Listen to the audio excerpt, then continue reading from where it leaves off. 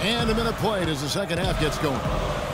And it's Rose penetrating. Oh! oh, oh and that's such solid, fundamental basketball on display right there, guys. You, you talk about it all the time, Greg. Yeah, great use of the pick to set up a dunk. And, guys, it was a terrific